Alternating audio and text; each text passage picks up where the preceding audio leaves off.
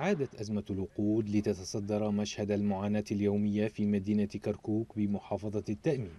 طوابير طويلة من السيارات تنتظر دورها لساعات وأحيانا لأيام واحتكار وأسعار مرتفعة في السوق السوداء.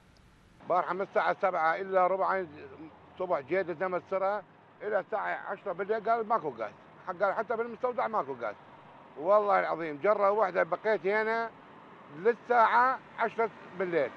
آخر شيء فرغناه اشترينا غاز تجاري ب 1000 وربع. طلعنا بيه على باب الله. هو شريط المواطن. غاز بنزين نفط. يعني إحنا هسه نحسب الغاز بهالازدحام والنفط. النفط باكر الشتاء وش يصير؟ والله يصير مذبح. هذه الاختناقات في محطات الوقود من أجل مادة الغاز ردها البعض إلى أصحاب المحطات الذين يتحكمون بساعات العمل والكمية الممنوحة لكل سيارة وآخرون لعدم تسديد المستحقات المالية من قبل أصحاب المحطات الأهلية. في حين ردها البعض إلى المتجرة بهذه المادة. ما تحصل. لأن ازدحام ازدحام يروح يم قائد عمليات. فلو يسوون لنا اياه بلو...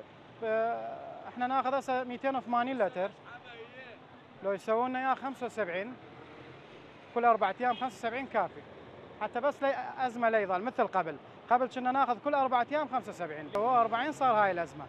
والناس قام تاخذ ال 40 يروح يبيعها. ناس يقولون ما يجهزون. ناس يقولون والله البنزيخانات عليها ضريبة أو عليها غرامات. 100% 100% متضررين. طبعا أبو الشغل ما يقدر يشتغل براحته. هسه أكثر العالم هم شغل وين الشغل؟ أكو عالم قاعد هسه يفول يروح يبيع يقول لك أنا شغل ماكو كرو ماكو أبيع أحسن لأن هسه صار التجاري ب 1000 ونص.